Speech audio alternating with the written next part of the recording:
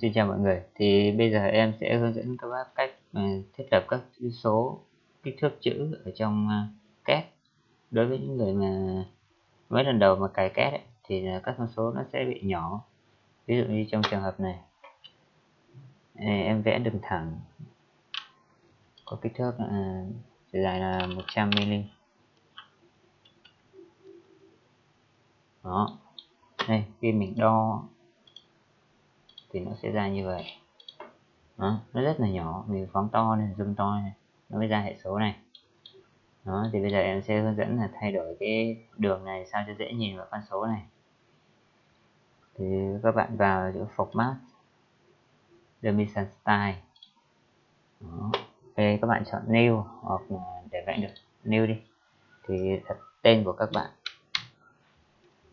Continue. Đó đây mình có chọn line chọn color mình chọn. Thì mình chọn là red. Or yellow and đó thì chỗ này là bề rộng của cái mũi tên này. Mình sẽ năm đây là cái ừ, ừ. này, em không biết nói sao nữa cái này 0.5 đi. Ừ, 0.5 đó bây giờ các bạn thay đổi chỗ này nó sẽ có cái diện thông số nó, nó sẽ thay đổi theo trên màn hình này. Đó Wolfstein boy thì đây là các kiểu khoảng cách. Thì các bạn có thể thử.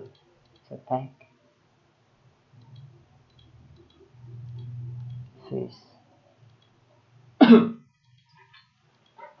thì chữ test này các bạn chọn à, ISO standard nha. Tiêu chuẩn ISO. Đó. Và test 2 này tức là độ cao của con số này. Thì mình chọn cho nó 5 đi, thử đi. Rồi. Và chữ này. Thì thay đổi hệ số số 0 là bao nhiêu chữ số đằng sau dấu phẩy ạ. Này thì mình để cho một đi hoặc hai. Một số 0 sau dấu phẩy. Đó. Ok, lưu lại đây close đó. Và chỗ này thì các bạn nhấn uh, chuột phải. Khác. Nhấn vào dimension. Đó, nó sẽ hiện ra bảng này. Các bạn cầm bảng này các bạn kéo vô cái trên thanh này. Nó sẽ ra. Và đây có nhiều cái nó không cần thiết thì mình tắt bớt đi. Các bạn nhấp chuột phải. Đó các bạn nhường nó này.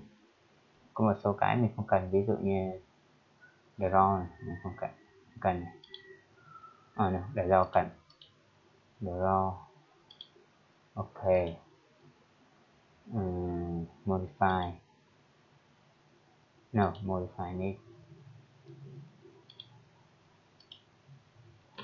Standard. Ok.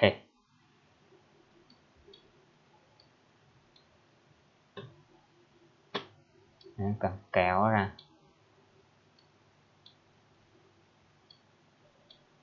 Đó. Thì các bạn click vào đề standard, chọn cái tên cái mà các bạn phải thiết lập vậy bạn quét nó. Chọn tên. Đó. Số 100 này, hơi to. Về vô vô format. Đó. Chọn modify để thiết lập lại.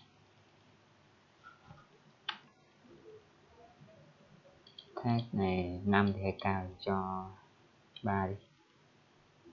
Đó line đây. Line 7 thế sao? À row 9 mình cho thử năm coi đó, quay đẹp luôn. Ừ. các bạn lưu ý nhớ chọn này nha chọn trên này. Đó ok vậy video kết thúc. Cảm ơn các bạn.